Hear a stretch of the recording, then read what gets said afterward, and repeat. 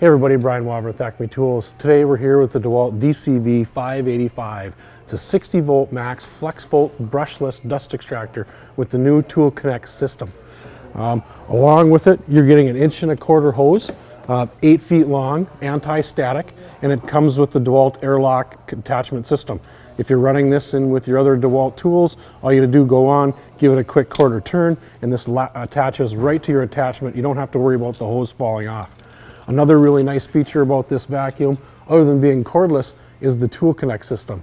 So now you can either run it with a Tool Connect enabled tool, or if you're using a non-Tool Connect enabled tool, all you gotta do, press the button, and the vacuum will start up when you need it and turn off when you're ready to turn it off. So now the DeWalt FlexVolt DCV 585 vacuum runs off of your standard FlexVolt battery. It is a 60 volt max unit, so depending on the battery, you are gonna have to figure out what amp hour it is.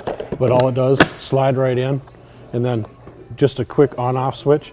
You can go on, off, or the other side would be then running off your tool connect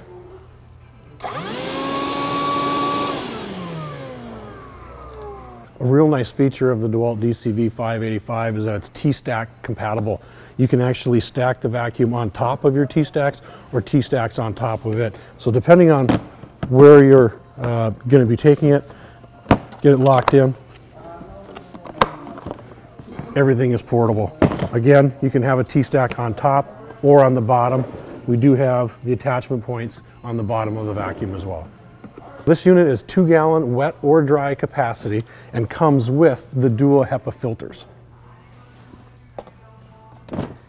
With a performance of 125 CFM, the vacuum is Table 1 compliant for an up to 5 inch uh, surface and tuck pointing applications.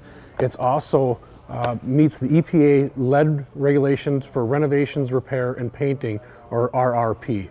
I want to thank everybody for watching. And if you like this video, make sure you subscribe and remember to always do your best work.